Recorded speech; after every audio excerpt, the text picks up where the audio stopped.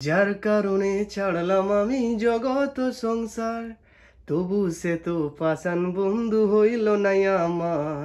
আমার দুঃখে কান্দে, আকাশ কান্দে রে জমিন। হৃদয়ে তো পাষাণ বন্ধু এত রে কঠিন। তোর মনের বিনজিরাই তুই কারে দিলি ঠাই? কারে তো করলি আপন পরপুরে আমায়? তুই ভালো থাকিস বন্ধু।